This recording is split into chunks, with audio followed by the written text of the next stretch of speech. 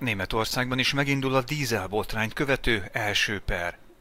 Az Audi autógyár egykori vezetőjének, Rupert Stadlernek kell a Müncheni bíróságon felelnie a csalás, tesztadatok meghamisítása és félrevezető reklámok miatt.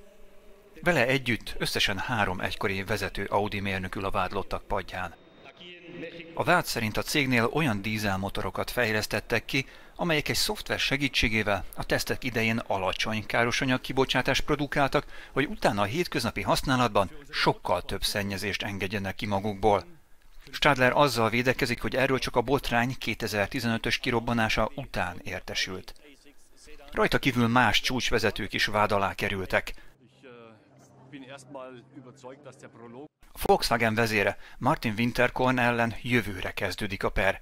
Hírek szerint ő rossz egészségi állapotra hivatkozik, ezért elképzelhető, hogy a per csak döcögve halad majd. Másik két Volkswagen vezető megúzta a pert. Herbert Dies és Hans-Dieter Pötsch több millió eurós bírságot fizetett, ezután az ügyészség ejtette a vádakat.